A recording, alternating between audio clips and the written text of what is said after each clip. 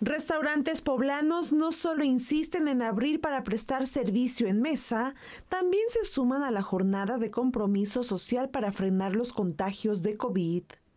Trabajadores de distintos restaurantes regalaron cubrebocas y proporcionaron gel antibacterial a usuarios del paradero San Francisco de la red urbana de transporte articulado Ruta.